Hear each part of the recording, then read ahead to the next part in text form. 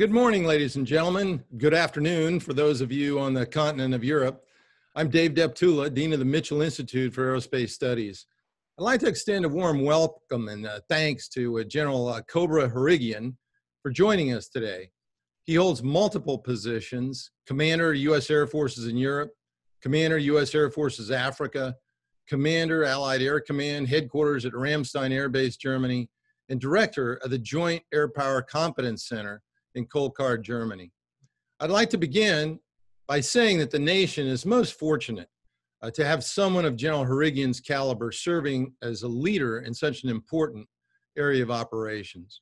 He's led airmen in combat in his previous assignments as the Combined Force Air Component Commander at CENTCOM. He's deeply experienced as an F 22 pilot, and he's commanded in numerous key positions. Most of all, he's a leader who simply gets it when it comes to the effective employment of aerospace power. With that, Cobra, I'd like to turn it over to you to share with us what issues at the top of your priority list these days. So, over to you. Thanks, General Deptula, and uh, thanks everyone for tuning in. Uh, it's a great opportunity to talk just a little bit about uh, what uh, our airmen, the Joint Force, and our partners are doing here in uh, Europe and Africa. And so I think it's uh, it, it's only appropriate that I would start a little bit to talk about um, our priorities here and, and some of the things that have been ongoing. And if you would just allow me a couple minutes to talk about that, I'd greatly appreciate it. And so with uh, any priority, I think we have to talk about our people. That's where everything starts.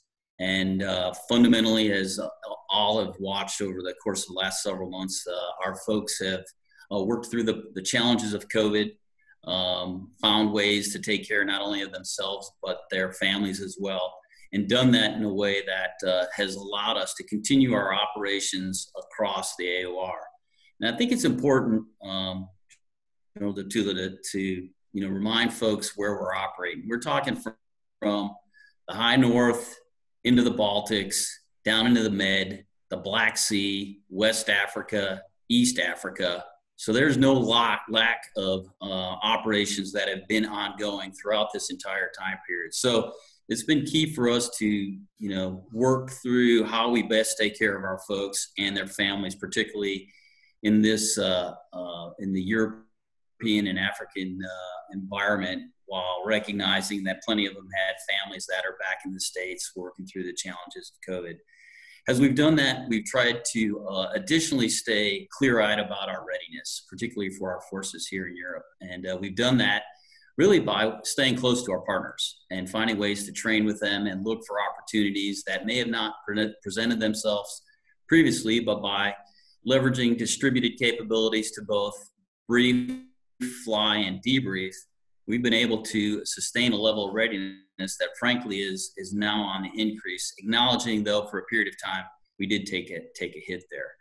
Um, as, as we look at uh, the, the other priority for me, it really has to do with our posture and ensuring that uh, not only when we talk about airplanes, but also about people and the logistic support to facilitate uh, the required uh, relationships with our partners to be able to execute the operations that we've been tasked in support of uh, not only EUCOM but also AFRICOM. And that posture, as you know, is continually reviewed and uh, one that we've worked hard to ensure, particularly from a logistic perspective. When you think about 104 nations, and again, from the challenges of operating uh, up in the Arctic to uh, the, the vast distances we talk about in Africa, uh, that, that's been something that uh, remains directly in our sights here. And then finally, uh, the other key priority for us is really working the relationships required to uh, ensure that we've got the trust and confidence with our partners. As everyone on the net knows, you, you cannot surge trust. And this is something that, as a, an insider force here in Europe, particularly, we've got to find ways to continue to uh, build those relationships and find those mechanisms that allow us to be more than just friends, but fully interoperable partners that are willing to, to uh, step into the fight together to achieve those uh, specific capabilities required to have the muscle memory that allows us to not only deter but also be prepared to defend day one. So that's kind of a quick synopsis of the priorities and things that are up front on uh, on our minds over here, and uh, happy to uh, go on any one of those uh, that you're interested in. Well, thanks for that great overview, uh, Cobra. Now, you know, when we look at today's combat aircraft inventory, we see a force in transition. Our fourth generation fighter capacity is growing, but we still have a significant number of 1980s built fourth generation fighters. Uh, it's the same time we look forward to the B 21. We appreciate the few B 2s that we have, uh, but we're still relying on non stealth B 1s and B 52s for the bulk of the bomber force. My sense is that demand for fifth generation is growing. And while the areas of pragmatic, survivable execution for older types is, is shrinking, um, given the rapid ascent of adversary capabilities, how do you rack and stack the attributes uh, that you need to execute your missions if it came to combat? Well, you know, this is one of my favorite questions, and so you know, here's here's here's my thoughts on this, and I'm going to be really frank with you. I think it's important as an Air Force we don't forget where we came from, and it starts with air superiority, and we need to make sure that uh, as uh, we work through the challenges of what could potentially be a, a fairly austere budget environment, that we're able to uh, be clear-eyed about the capabilities that we're going to need to operate uh, both from a stand-in perspective and a standoff perspective to achieve air superiority. And I recognize uh, there will be challenges associated with that, but I would argue, and I'm happy to debate, have this debate with whoever like to have it with me, that uh, unless you gain air superiority, all the other uh, things that we're we would want to accomplish, particularly with the joint force, will be very difficult to achieve. So when you look across any operation and our reliance on uh, achieving air superiority, whether it be temporal or complete air dominance, uh, it will underpin our joint success. So I think as we look at that and we remind ourselves uh, the importance of it, that that should inform, I would offer, some of the decisions, particularly as we move forward here. Now, having said that, um, I am fully supportive of where we're going with JADC2 and enabling it with the Advanced Battle Management System, ABMS. I think the uh, recognition that as we take the big idea and operationalize it, for us here, uh, particularly in, in Europe, it will be imperative that we start bringing capabilities as the chief and those that have been working this problem set have envisioned. The leave behind experiments, those type, types of capabilities must contribute to what we're providing in the toolkit for the warfighter so that they can have some skin in the game with respect to understanding what ABMS and support of JADC2 is going to bring. Because at the end of the day, uh, we've got to be able to operate at speed. We've got to be able to make decisions in, in a manner that allows us to quickly maintain our advantage over the adversary and allow us, again, to maintain that air superiority. And I think that will be, uh, be imperative. Having said that, when you talk about um, fourth, fifth gen interoperability, uh, B-21s and, uh, and, the, and the bomber force there. Uh, one of the key challenges that we continue to um, analyze and work through from a TTP perspective with these capabilities is the counter IADS problem set. So getting after integrated air, uh, air defense systems, particularly those uh, that the Russians possess, is one that uh, I would offer to you. Uh, we don't want to train once every three months against. You know, uh, General Deptula, having been a previous Eagle guy, you would know that finding your group as an Eagle guy was your job and you knew how to do it and you knew how to do it right off the chute. And that's the same way we should approach this counter IADS problem in that this should be something that we have muscle memory with and shouldn't be a one off that we're going to have to go figure out, you know, on the, the first day of the war. And so that's the mindset that that we need to take. So when you think about um, our training infrastructure, where you're going to train to do this, how, how you're going to integrate your partners, those are pieces of this particular problem set as we think about where we're um, investing in terms of fifth gen and uh, advanced bombers that all are part of that problem set that I would offer we need to think about. Sorry, probably a little longer answer than you wanted, but I think that's an important part of reminding ourselves uh, why we're the greatest Air Force in the world and why we're going to have partners that can be part of the plan with us. No, it's uh, that was a great answer, Cobra. Really appreciate it. And what's this former Eagle guy? You give me a cockpit, and I'll come over there right away, hop in the front seat, and uh, Uh, don't worry, um, I'll make you proud. Um, I would expect nothing less from you in the response. Hey, when you commanded the uh, air component during uh, Operation Inherent Resolve, you saw Russian capabilities up close and personal. What were the main observations that you took away from this experience, and what, what were the biggest surprises? Uh, how did that inform your current decision-making process? So first off, uh, you know, I was very fortunate to uh, have an opportunity to command uh, downrange with uh, some great airmen, and not just great U.S. airmen, but uh, also from the coalition. And then operate in a, in a joint environment that, uh, frankly, was a, a, once in a lifetime experience. And so, you know, this this question for me it, it drove me a, a, bit to reflect on you know, probably all you out there have your little green books that you kept your notes in, and you know, some of them you're like, oh, I probably shouldn't have written that down. But it, it, it, offered me a chance to think back at, uh, you know, what were the key lessons learned for me. And I guess the one, while somewhat related to, you know, the Russian piece, which I'll get to in here in a second, I think um, one of the key areas, and uh, General Deptula, I think you've heard me talk about this was the importance of, you know, we can use the word mission command, but what really was about ensuring we empowered uh, our airmen that were out there at the tip of the spear.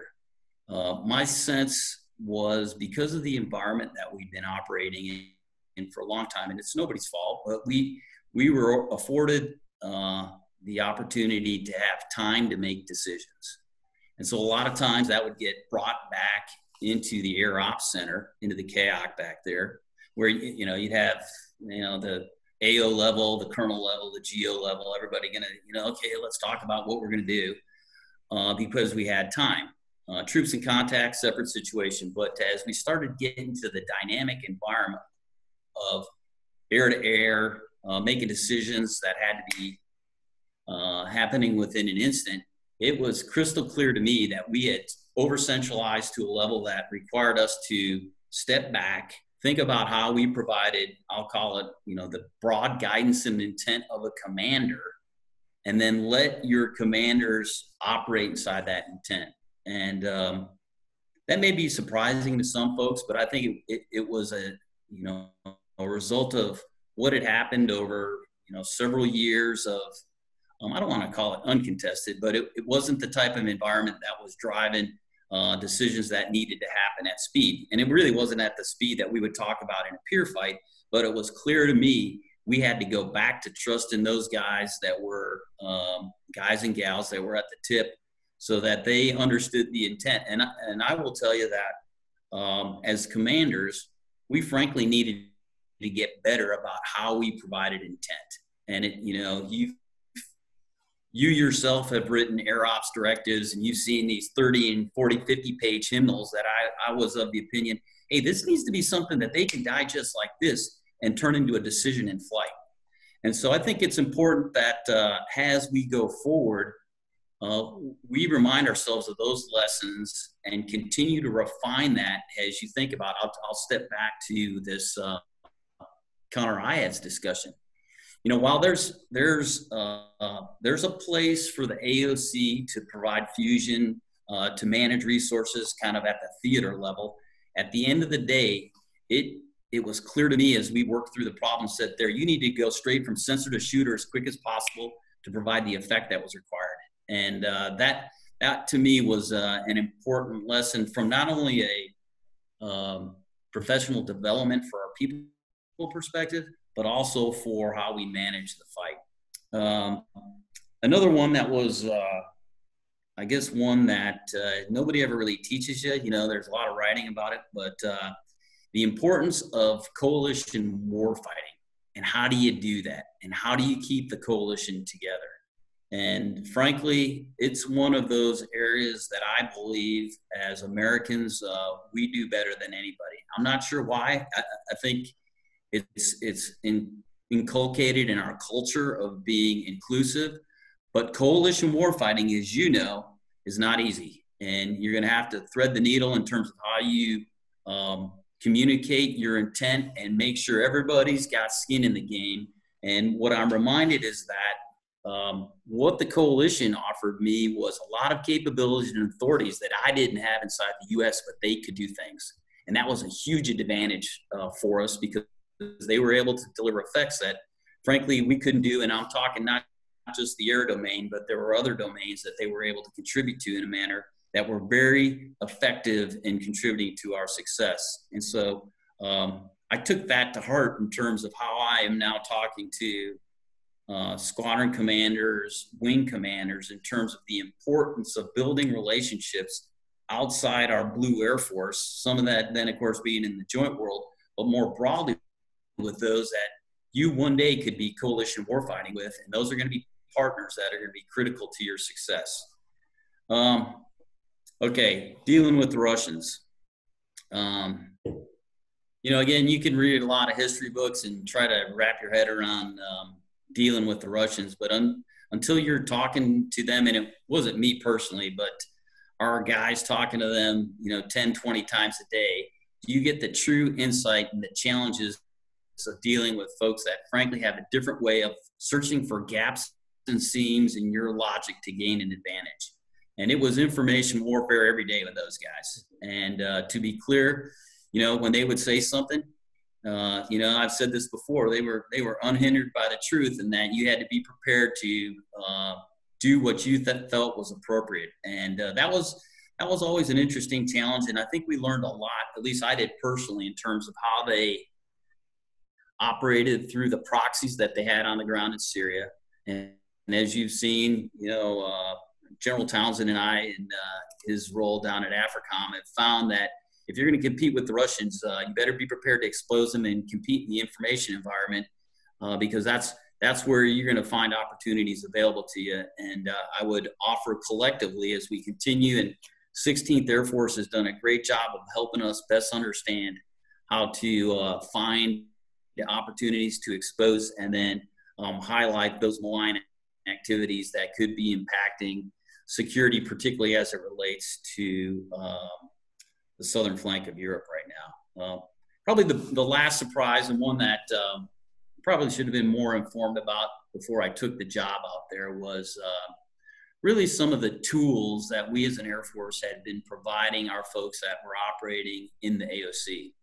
Um, as, as you're well aware, some of those tools probably hadn't kept up with the uh, software development and had the agility we needed to uh, give folks those tools that will allow them to have the awareness of the knowledge to make decisions at the speed that we needed. And so uh, I think we made some good progress uh, with what's been done in DIUX, Kessel Run, and those types of activities. Clearly, work to be done as we move to JADC2.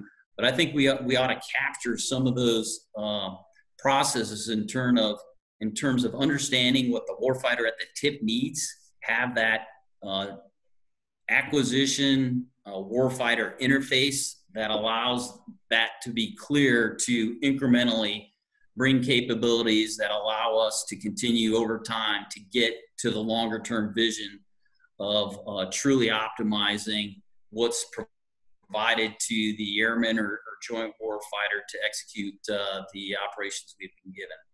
So again, I learned a lot. It was it was a, it was a long two years, but a great two years. Well, that's uh, spectacular uh, uh, comments and observations in a short period of time.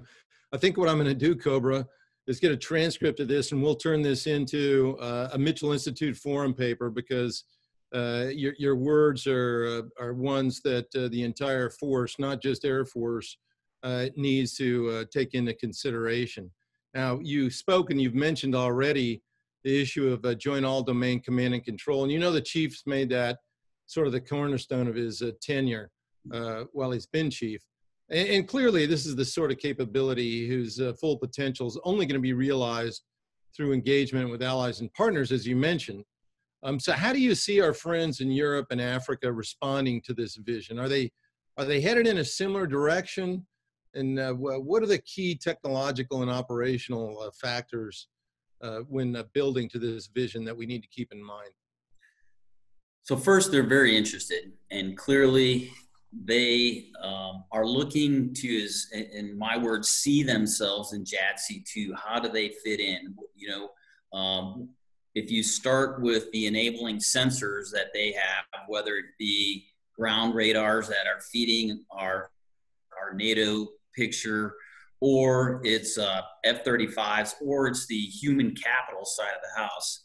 They're looking to first, I would say, broadly understand the concept, and you know, fundamentally, what we need to do is continue to turn PowerPoint into action and take the concept paper and has uh, has been accomplished in some of these uh, experiments with ABMS, but more broadly go, okay, you know, this is the infamous, in my words, how you take, and I don't know if you were uh, an A5 or an A3 guy, you know, you probably were in the mix there, but you know, you, you had those situations where the five gives you the, hey, here's the big idea.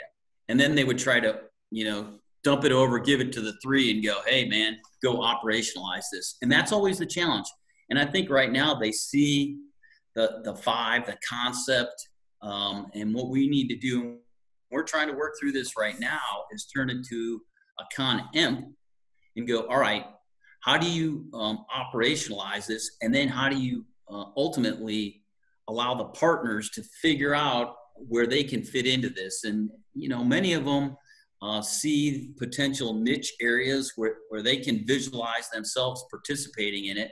But at the end of the day, what we're going to have to do is sort out in uh, what I would offer particular vignettes where we can generate some quick wins where they see themselves participating. And, and, and so, you know, for us, uh, there are particular exercises we're looking at, uh, whether it be integrated in air missile defense type exercises here this fall, that we're going to bring them in. And it, while it may be a baby step in terms of JADC2, if there's some incremental capabilities that uh, we've sorted out either in one of the Northcom activities um, or any of the other ones that have been accomplished at Nellis, I'm pushing to bring them here so they can see what those are and then not only uh, intellectually understand it, but have airmen or you know joint partners that may participate that and, and, get a better sense and feel of what that is. And I think I think that'll be the key areas here over the next um, you know year, two years that we've we've got to you know wrap our arms, get them in the inside the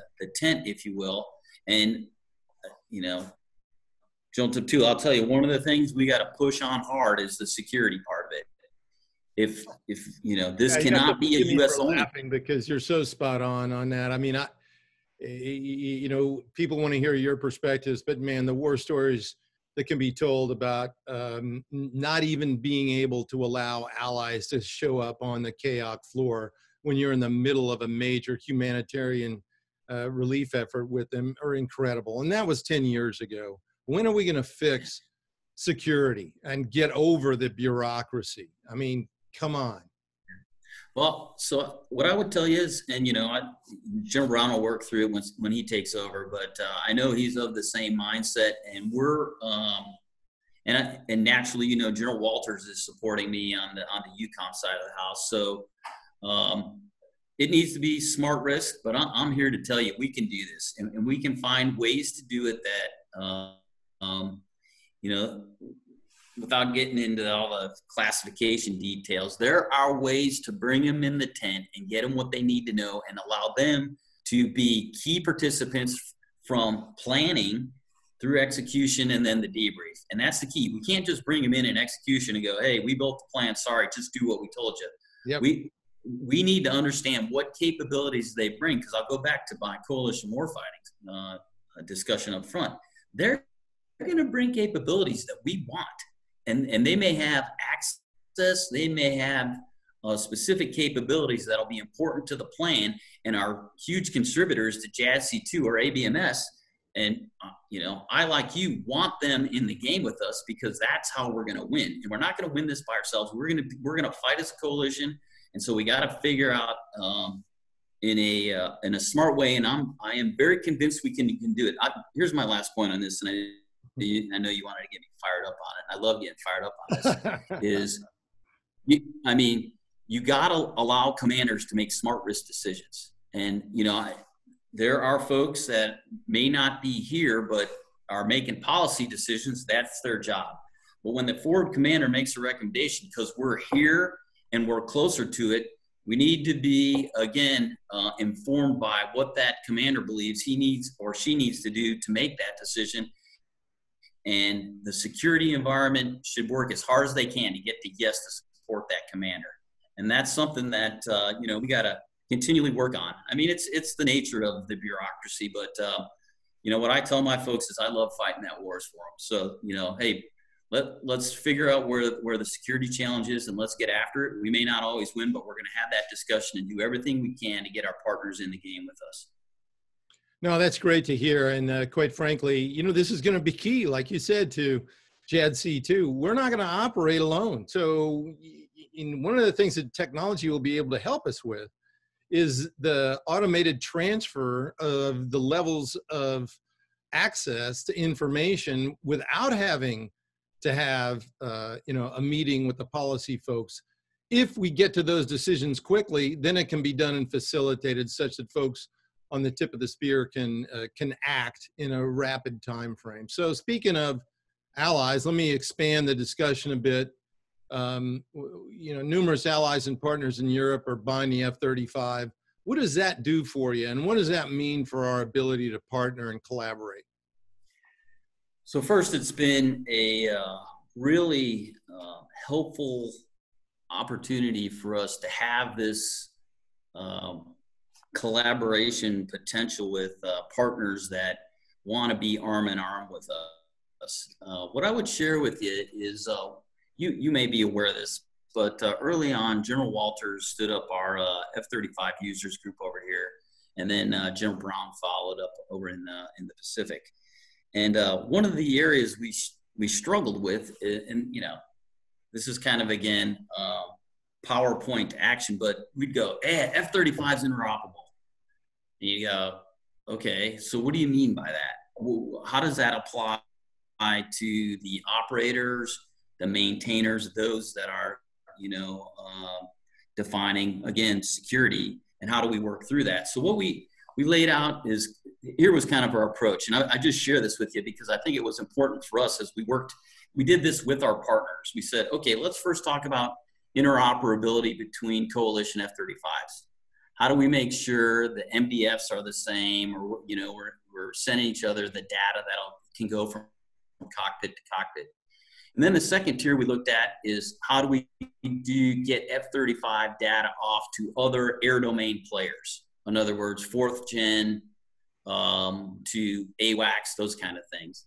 And then the third tier was how do we get F-35 data all domain, particularly when you start mm-hmm. thinking about F-35 to, for instance, ATACMS or those type capabilities. How do you how do you work that piece? And then as we peeled that onion back, we said, well, probably need to, you know, then let's let's talk about tactical employment. How are we doing with TTPs? Are we actually sharing from the US perspective the lessons that we're learning and how you employ the airplane.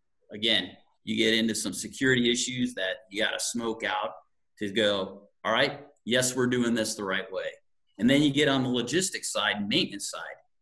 And so in, in each of these areas, we've not, and then you're going to ask me, well, how you doing? Well, we had to measure them. And what it gave us is an opportunity to go directly to the JPO or whomever was the uh, um, organization that was holding up progress and find ways to measure exactly how we're doing and then go, okay, we're going to go do an exercise here and get after this particular problem set and allow us to continue to see uh, where we are truly interoperable. Because as you do that, then you're going to uncover what was another area that we continue to work, which is operational training infrastructure. How do we train together? And you know, do we go to the we go back to Dutchy in Italy and start setting up a fifth gen capability up there? Do we go to the you know up to the Norwegians, up to the high north? How are we going to do that? And then, you know, again, one of my favorite questions are: Are we going to connect our F thirty five simulators so we can train together? Those are the kind of things that um, this discussion has facilitated a really robust um, conversation, not only at the AO level, but at the air chief level to go solve some of these problems. So we're not perfect. We have plenty of work to do, and I could deep dive with you on each one of those. But I think that structure has facilitated a more informed conversation about where we're really at with interoperability amongst F-35s, and we've we've made great progress because uh, General Walters would tell you the same in that um, we're going to need the team here to be able to operate together, whether that be to facilitate data to uh, fourth gen capabilities or to other joint players to get after the mission sets that will be required to deter and defend over here in Europe. And so, again, uh, lots of good progress. Um, we've been able to have those meetings uh, twice a year, and it's been uh, really helpful to get uh, not only the AO level together, but then to get the commanders together who can put resources against these particular areas that we want to make progress from an interoperability perspective.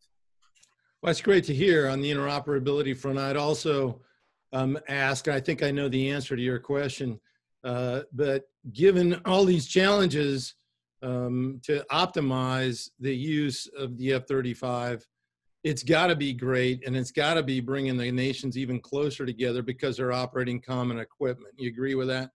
Oh, yeah. And uh, you may recall, uh, I guess it was uh, I don't know if it was last summer or summer of 18. We, you know, we did a, we did some interoperability work where one of the uh, key areas that I wanted to achieve success was I wanted to have um, another nation re- that has F-35s refuel our F-35s. You know, people were like, "Whoa," and we did it. It did it. It did it take some. We're going to do this and get you know the team on board to lean into it from you know the staff sergeants up to the you know uh, policymakers but we were able to do it and demonstrate it safely. And those you know those kinds of activities while they sign, sound like oh that's you know that's really not that big of a deal it was a big deal. And that's you know when you go back to the you know having trusting in each other um, those are the kinds of things when you're doing that not only only with your maintainers, but also then you're flying, you know, two Norwegian F-35s, two Italian F-35s, and two American F-35s. That's why people are buying the airplane, and that is combat power. And that in itself, when the Russians see that you got three nations that are employing together, that's deterrence, and uh, we we ought not forget that. Outstanding. Listen, uh, Cobra, I want to leave some time for our uh, audience, but I got one more question for you before we go to audience um, uh, Q&A. Uh, Mitchell Institute recently uh, released a report discussing the difficulty of equipping allies and partners with U.S. manufactured UAVs due to the provisions of the Missile Technology Control Regime uh, because it characterizes these uninhabited aircraft in the same class as nuclear weapons delivery vehicles. Could you speak to how you see demand from partner nations to gain access to U.S. UAVs and the need for the U.S. to meet it? Yeah, that's a great question. And uh, as you're well aware, I've had uh, many an air chief talk to me about what it's going to take for them to gain their own MQ9s or uh, some other UAS type capability. And you know, not not to sound flippant about this, but here's what I saw happen: if we didn't sell it to them, the Chinese sold it to them, and or we we had to try to talk them out of buying another one because they'd look at us and say, "Well, you won't sell it to us." And so I think we we've got to be thoughtful about how we work our way through uh, the intricacies of the, of uh, the policies associated with this, because at the end of the day, uh, what I would argue is that what we're finding and what we're learning now with some of the new UAS capabilities is that uh, when you talk a great power competition, it, and let me step back. I think a lot of people look at a you know an MQ9 and go, ah, oh, that's going to be counter VEO, and I'm like, well, not anymore. There, if you're thoughtful about how you employ these things and where you're going to operate and how you're going to use it from an I&W perspective or deterrence perspective, because they know you're there and looking, um, I I am wholeheartedly in in favor of our friends across Europe having a capability that allow us to do more of that, given that we're going to be sharing that information and it all contributes to the I&W we, the collective we, need to have the necessary SA on potential adversary uh, activities. And you know, you can make the argument about what what that means uh, down in Africa as well, given what both China and Russia are doing in Africa. I mean, all you got to do is go look at a map, and you can probably go to Google and look at all the locations they're in, and, and either what they're trying to procure or what they're doing from an infrastructure perspective, and uh, getting uh, data, intel, pictures that allow us to expose those types of activities are things that we need to be cognizant of. And, you know, uh, let's be clear the, the, Russians know when we got satellites coming overhead. I can give you a bazillion examples of that. And so we've got to be creative in the ways that allow us to have um, resilient opportunities to collect and affording our, our, our partners, our valued partners who, you know, make a sound argument for having these capabilities and we trust them to you know leverage them in the appropriate fashion is something that I believe we need to take a hard look at and uh, and give you know uh, consideration to. Well, excellent. We've come to the end of our uh, discussion, or at least this portion. So thanks, Cobra, for your superb insights. Um, they really were uh, excellent and uh, informative.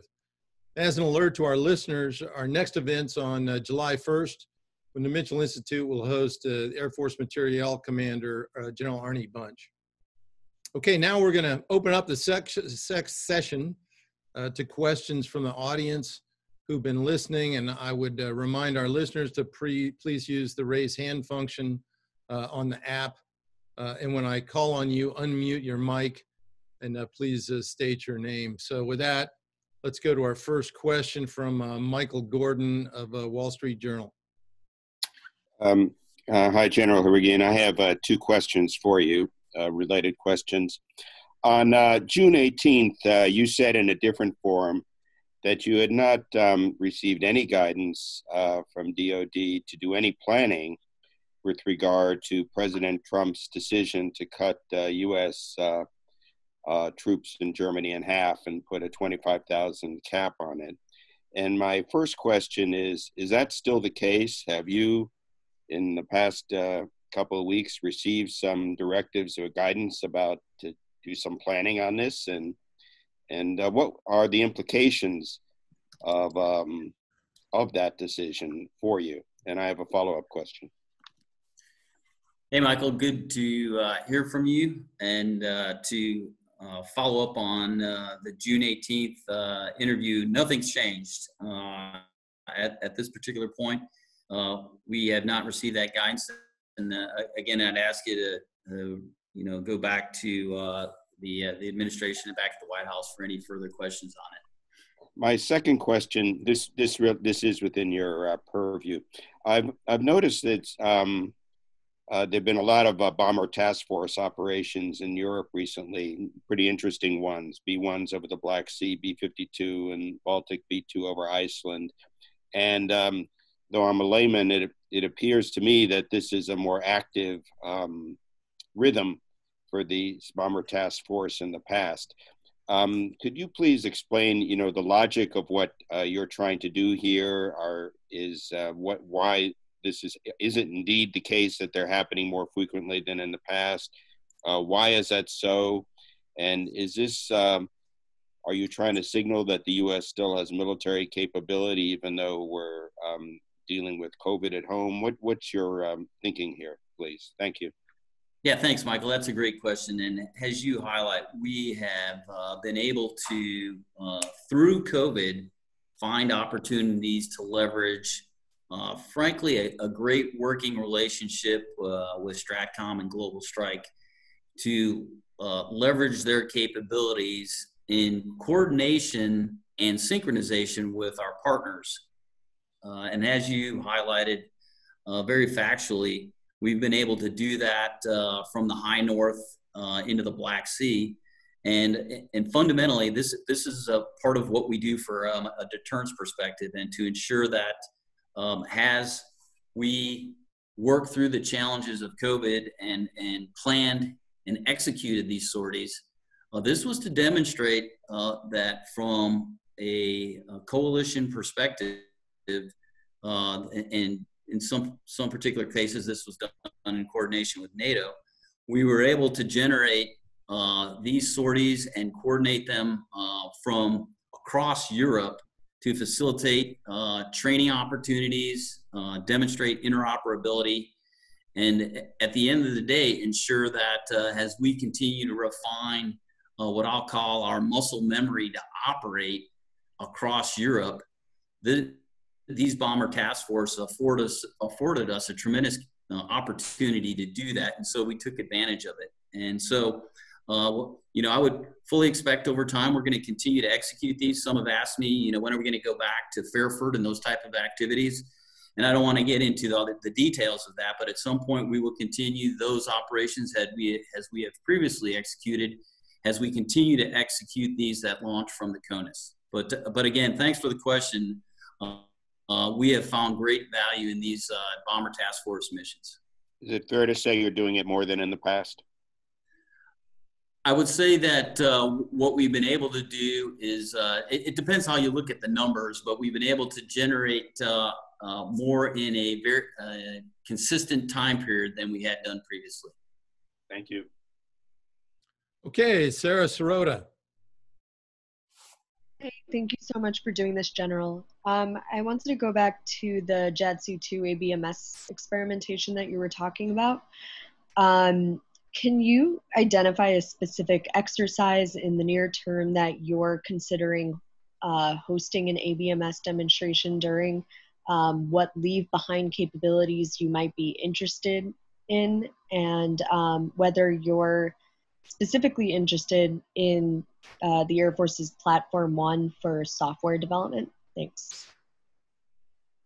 Yeah, hey, thanks, Sarah. Uh, so, right now, what we've been uh, planning on is uh, leveraging uh, a Spring 21 exercise uh, here in Europe to bring in some uh, capabilities that would allow us to work through, um, I'll, I'll, use the term layered ISR capabilities and uh, allowing us to work some sensor to shooter specifics. And uh, due to the, the, classification, it gets a little bit uh, challenging to talk about some of that. But the goal here will be to refine ultimately our timelines to take the data from uh, different sensors and provide those to shooters that would be um, available to us. And as you can imagine, there, there's some different uh, different ones that would be involved with that. Um, meanwhile, though, I would highlight to you that what we're looking to do is as uh, the, these on ramps occur,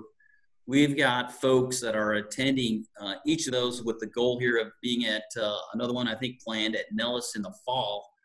That we we hope to be able to garner some of those um, software applications that we could leverage in either our ops center or um, from a reach back capability that would facilitate the speed that we're talking about when we uh, work the sensor to shooter uh, problem sets that inevitably are ones that we've got to uh, be able to operate with and uh, through over here in Europe. So that's our approach. Uh, we are um, working closely with uh, the headquarters Air Force team and AFWIC to uh, fine tune the specifics of those capabilities that we would like to leave behind. And right now, I, I don't have the specifics at this point, but, but uh, I would suspect here in the next couple months we'll be able to uh, gain some uh, clarity on, on those that uh, I certainly want to ensure we leave back here for our folks. And would you have any European countries participating in the Spring 21 event? That's the plan. Uh, as we talked about earlier, it is critical to us that we're we're able to do that. We are uh, working through um, who and uh, what that might mean, and at this point, I don't have uh, that locked down yet. As soon as we do, we'll we'll be sure to talk about that. Okay, thanks, Sarah. How about uh, Garrett uh, Reim? This is Garrett Reim with Flight Global. Um, my question is about the MQ-9 that uh, you acknowledged was uh, shot down last November over Libya. Um, and I wondered, um, given your experience, uh, especially over the last 12 to 24 months, have you uh, any lessons learned or thoughts on how you might change the way you fly the MQ-9 in the Middle East, as well as the lessons learned in the Middle East? Is that how does that inform how you might fly the MQ-9 or other large UAVs uh, against Russia or China? Hey, that's a great question. And, uh, you know, going back to my time um, at uh, Air Force's Central Command, uh, we continue to learn an awful lot about how uh, to optimize our use of MQ9s in a theater where it, it can quickly become contested. Um, and you know the, the key for for us given where the RPA operates, how it operates, is it really starts with our indications and warning and understanding of the environment that we're going to um, ask the uh, the platform to operate in. I would tell you that uh, as as we refine the ways that we think about uh, employing these capabilities, um, it, it, you know so job one is to recognize that uh, we need to understand uh, the value of the collect that we're asking the airplane or uh, the RPA to to collect for us. That's that's naturally going to drive some risk decisions. Uh, again, depending upon the threat and what we're looking to to get after there. Um, the other part of uh, uh, you know naturally what we've we've learned over time is um, you know there there's something to be said for um, operating in a manner that um, um, offers us an op- opportunity to not be as predictable as we may have been previously. I think um, you know over time we we developed some TTPs that uh, were probably a bit too predictable, and uh, this was from years and years of operating in a counter VEO environment. And so, if you uh, facilitate um, tactics that allow you to be a bit more unpredictable, um, be clear-eyed about where the threat is and what you can uh, do to mitigate that threat. It afford and, and you put some uh, I'll, I'll, call it advanced capabilities not only on the uh, the MQ9 but you layer it with other Intel capabilities. It, it, it makes the platform much more survivable and uh, allows you to then collect on those areas that you're interested in collecting on. Okay, uh, Cobra, we've got uh, about a two and a half minutes left. I've got a text question from uh, Gene uh, Germanovich, and here it is. As Europeans acquire the F-35, do you see enough emphasis from these allies on the things that are needed to maximize the value of fifth generation beyond the airframes themselves? Hey, that's a great question. And uh, actually, what I would tell you is uh, their emphasis on the, the human capital side of the house in terms of, okay, uh, we've got a fifth generation platform, but we have to have fifth generation minds and people that think in a different way about solving problems. And I can give you um, several allies that fundamentally have raised that as their key um, their key point for how they want to um, transform their air force going forward. And and and frankly it is exactly the right mindset. Because you can have this uh, fantastic piece of uh, machinery but at the end of the day there's still a human in there that's got to think their way through not only how they operate the platform but how does it fit into the broader joint architecture and become a node in that architecture that either is providing data off the aircraft, um, executing kinetic and non-kinetic activities, and that that that comes from the, the folks that uh, have a culture of fifth gen thinking. And um, I, I have to tell you that the F-35 user group and the ideas that have been generated from that reflect that thinking. And, and to me, that, that's really where we need to continue to foster the conversation and continue to find ways that we train not only in the air but via simulation and virtual um, and synthetic opportunities because uh, that's truly where we're going to unleash the, the true power that the, uh, the F-35 and the people bring to, uh, to our organizations. Well, what a great way to finish up, wrap up this uh, session, uh, Cobra. Um, uh, really appreciate you taking the time uh, to do this for us. Uh, and uh, to you and all in our audience from all of us at Mitchell Institute, um, I wish you all a great aerospace power kind of day. Thanks, General Deptula. It's been great. Thanks, everybody. And uh, Cobra, please give up my regards to Kathy. All right, you say hi, Diana. We'll take All care. Bye bye. Listen. All right, see you.